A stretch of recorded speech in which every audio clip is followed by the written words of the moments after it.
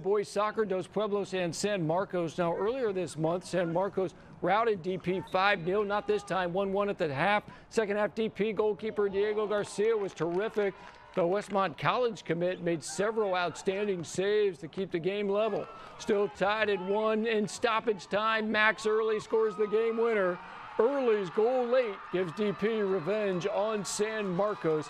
Chargers celebrate a 2-1 Channel League victory.